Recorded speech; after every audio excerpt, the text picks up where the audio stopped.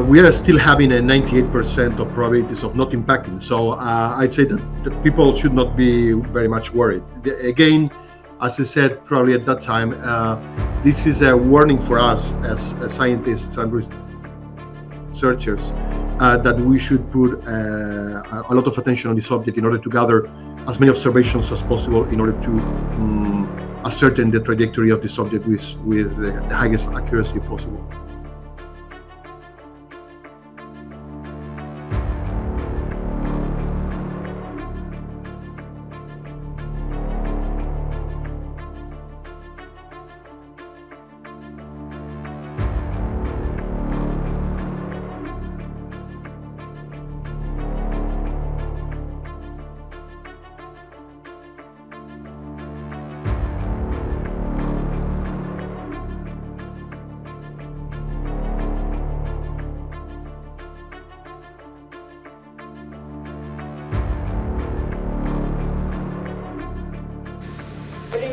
And liftoff. décollage. Decollage, liftoff from a tropical rainforest to the edge of time itself. James Webb begins a voyage.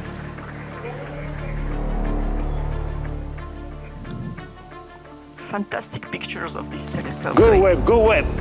Yes, go Webb. We succeeded uh, as an international team of of uh, researchers, both at NASA and ESA and other organizations, to uh, to uh, request uh, observation time in James Webb uh, Space Telescope and actually uh, got it. So we will be able to observe the YR4 in mid-March and in May, not only to improve the knowledge on the trajectory of this object, but most importantly, in order to determine also the size of the object, because asteroids are uh, difficult. The, the, size of the asteroids is very difficult to determine only through visual observations from telescopes. But if we use infrared measurements from infrared telescopes, this allows to constrain much more the size of the object. And, and here, the James Webb will, will really help in, in uh, let's say, constraining a lot the, the size range of the object.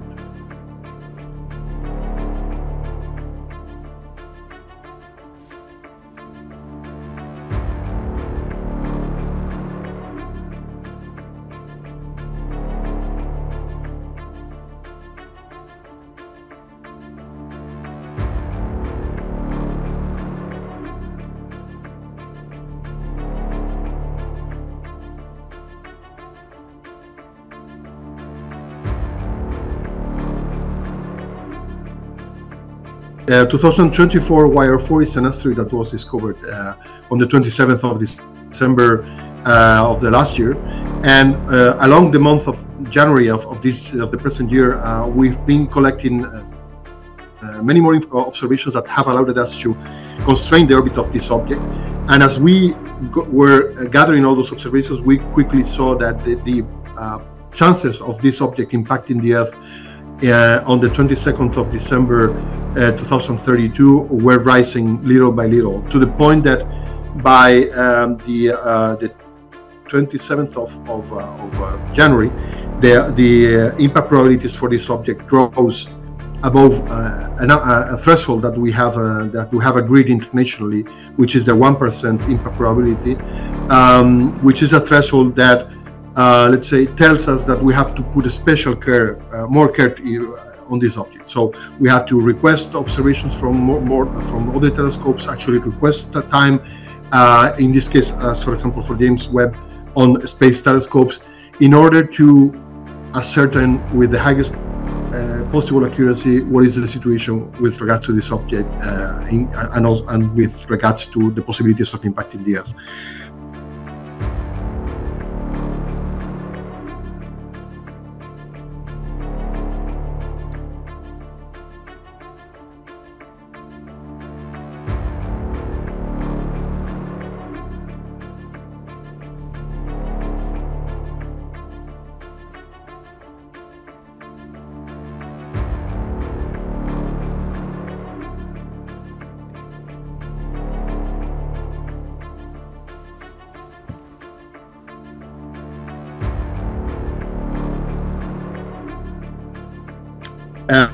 Uh, in the meantime, since the end of January, the priority has been increasing even more to the point uh, where we are now, where, where, when we have a 2% uh, uh, impact probability. And um, this, this is so because when we are uh, obtaining more, more measurements, we're able to constrain much more the, the trajectory of the, of the asteroid. And this means that the uncertainty that we have at the moment of impact is smaller and smaller. And if the Earth is still within the impact path of this object, this means that the Earth occupies a larger extent of the uncertainty region, which means that the impact probabilities rise. And this is what we have been observing, that little by little by little, the impact probabilities uh, have been rising.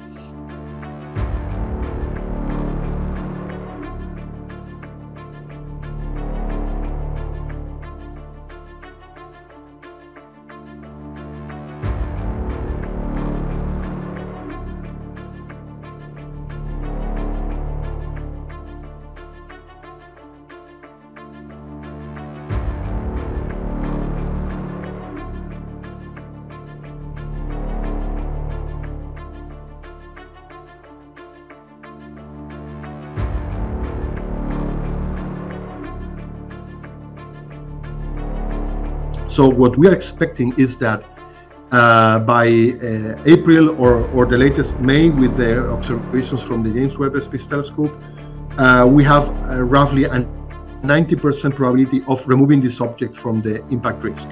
So this is good news because uh, nine of 10 cases, in, in nine of 10 cases, we will be able to, to remove this object from the risk list.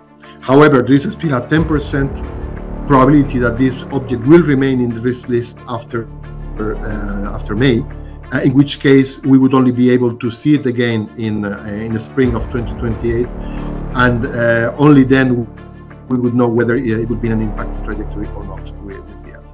But today, what we can say is that uh, we, we, we have 98% probabilities of the object not impacting the Earth in 2032. Liftoff of the Falcon 9 and DART on NASA's first planetary defense test to intentionally crash into an asteroid. Just heard the call out for spacecraft separation. You can see the video of the DART spacecraft on its way, heading on its way to the Didymos system. What a spectacular view of DART. Yep. Uh, just floating away from the Falcon 9 second stage and you can see the sun off to the side there as DART drifts away from the Falcon 9 second stage.